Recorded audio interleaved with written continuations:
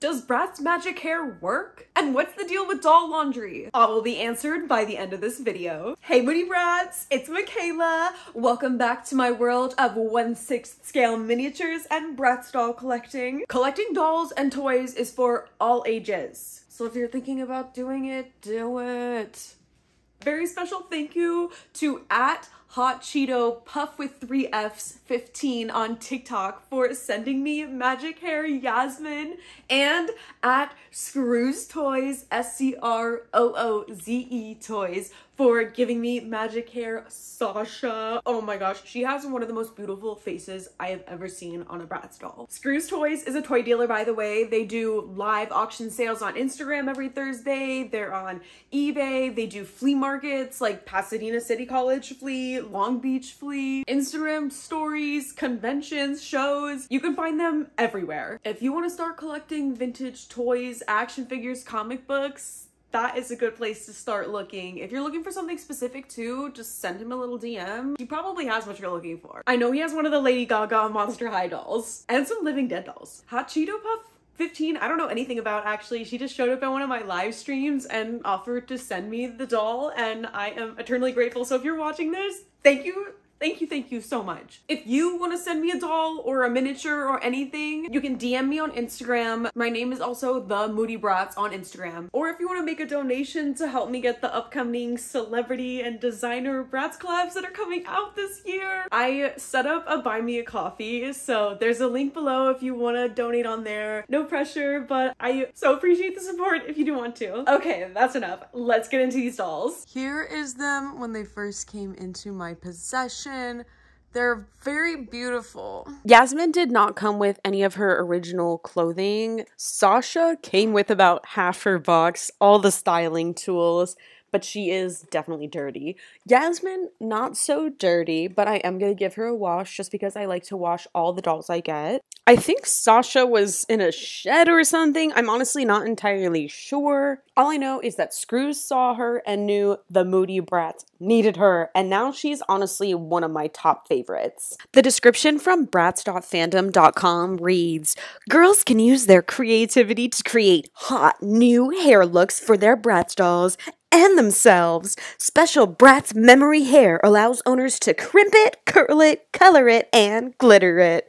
The dolls come with accessories, and the color and glitter can be used on real hair as well. Yeah, we're just gonna see if that curl and crimp function works. First, Avi, we're gonna free Sasha from this packaging that she's been trapped in since 2007. She's off the package, her hair feels very gross very dirty. Loving the two tones of the hair though. She has some major discoloration on her chest, you can see. That line right there. You'll see it better once we get her into the sink. She's so beautiful. I'm really hoping we'll be able to clean these lips up. I'm hoping with everything in me that it is just dirt on there and it is not a lip chip. Here's a little before of them. You can see their hair is not very flowy because it is dirty, especially Sasha. Like hers won't even move at all. Oh my gosh.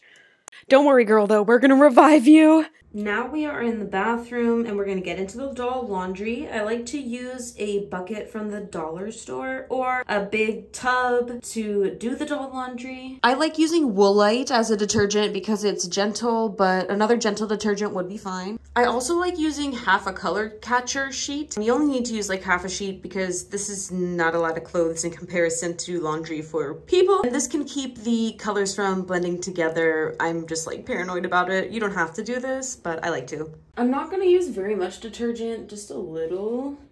Like, mm, that's probably more than enough. I'm gonna use cold water because cold water is, definitely just turned my shower on by mistake. Gonna mix it with cold water, slosh it around, and let it soak for 30 minutes. Can already see the water getting gross. This is why I like to do this. And I do this with all the soft things I get. Pillows, hats, bags, even the leathery material. I just keep a closer eye on those. It's been 30 minutes on the laundry, so it's time to rinse it.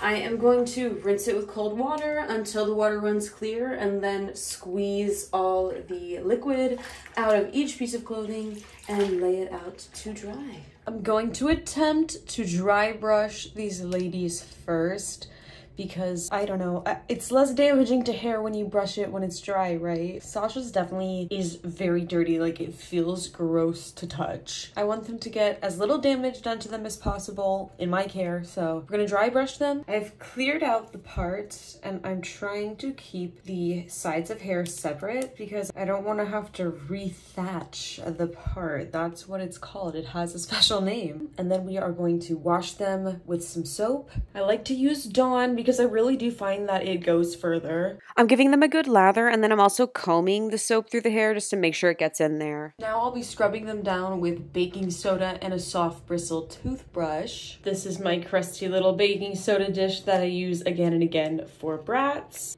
I also brought in a little dish for water. When you combine the baking soda and the water, it makes like a paste basically. Then I'm giving them another lather and a very thorough rinse to make sure all the soap's out. It is the next day, so their hair has dried. This is just from the cleaning. We are readying the boil wash. Unfortunately, Miss Sasha does have a lip chip and does have some kind of gnarly discoloration on her torso due to the way that she was stored for the last 20 years. I did a dry brush on their hair, so it should be without any knots. I'm pouring water directly on their heads and combing it out. I'm also using a cutting board to comb their hair against a hard surface because once the hair is hot, you want to brush through it so that it will set in a nice straight style. She's looking so good. I can't wait to see this dry. Like the way the hot water just straightens the hair right out. They have what's called memory hair, which is a special hair type. So it's supposed to be able to be easily like crimped and curled with these little tools that it comes with.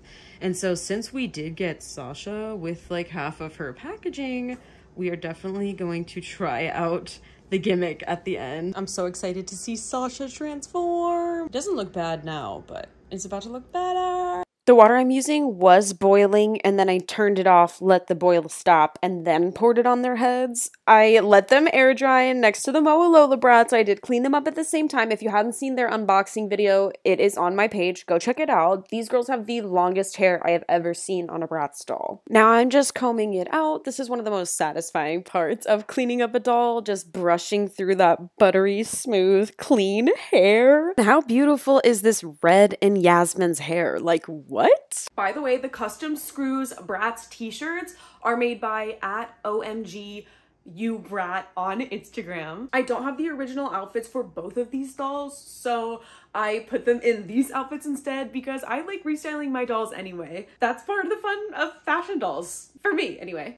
These girls look so cool. I literally just want to be friends with them. That's how I feel about all the Bratz in my collection, honestly. They're so pretty. The gimmick with the magic hair Bratz is that, gosh, how does the commercial go? Bratz magic hair, step one, crimp it, uh, glitter. I know it's five in one. One of them is glitter. The glitter tube is definitely looking crusty, so we are not going to be testing out the glitter. Another one is color, and I will not be testing out the color either because one of them is very much uh, exploded and dried out. The other one seems to still be intact, but I don't want to ruin these girls' hair. I don't know. Magic hair is one of these gimmick special type hairs. It's a little different than other hair types. I'm not an expert on hair types. If you want a good video on doll hair types, A Thousand Splendid Dolls has a really good video on that. Here's a close-up of the tools. This, I believe, is for the color. Then the hairbrush, the crimper tool. The crimper tool is honestly kind of intimidating. That's not going to stop me from trying it, though. I want to see these girls with some crimped hair. Then here's the little curling iron. It's absolutely adorable. This doll is all about hair play.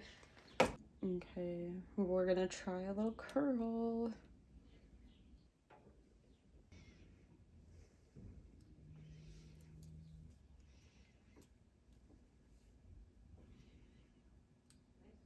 I don't know how long you're supposed to leave it for. I don't have the instructions and I did not look them up.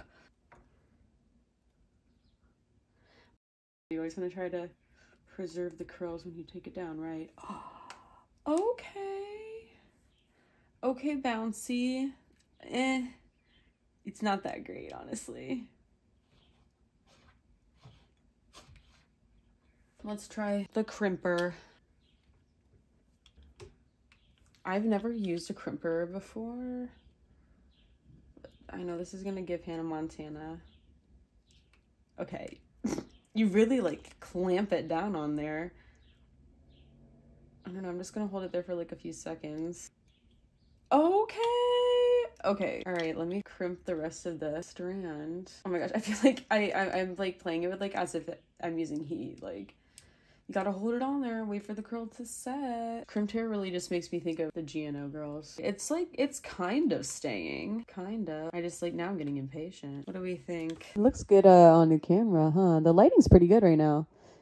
Let's do Sasha. We'll start with the curl for her as well because I feel like it's gonna be anticlimactic again. In the commercial though, their curl is like bouncy. Maybe you have to just do like a really small piece of hair. Do like the tiniest piece of hair ever. I feel like I did a pretty small piece of hair on the last one, but little tiny piece of hair. Let's give it a try. I'm trying to get it like tightly wrapped, you know? Oh my gosh. This might work actually better. This is so funny. It really it really feels like curling your own hair the way this curling iron looks. I definitely have a curling iron that looks exactly like this. Yeah. Okay. No, it, it didn't. It didn't really do any better. Okay. Well, that's that. I guess. Let's do the crimp. And I accidentally didn't record it, but you can see that the curl has completely disappeared. Didn't last at all. You can see the crimps a little bit, but they just don't. They're not really giving. But hey, you know she has a gorgeous face. She may have a lip chip going on, and perhaps one day I'll do something about that. But that day's not today. Regardless, she still is so freaking beautiful. They both are. I absolutely love them. They are so pretty. The hair is unreal. I'm so happy to have them in my collection. The magic hair gimmick is not really all that, but I like their long hair straight anyway, so I'm not mad about it. I'm just so grateful to have them. If you enjoyed this video, like, subscribe, turn on the notifications bell. I put out new videos every Wednesday, but if you can't wait for that, I do Instagram stories daily and TikTok videos almost every day. It's the same name there, The Moody Bratz. It's all in the description below. Soon, I'm gonna do a DIY Pride float for 1 6th scale dolls. I'm also gonna unbox the Jimmy Paul Pride 2-pack of Bratz. I'm still working on making the apartment crafts and the easy hairstyles tutorial also, so you don't want to miss any of that. And if there's something else you want to see in a YouTube video, please comment down below. Thank you so much for watching. I'll see you in the next one.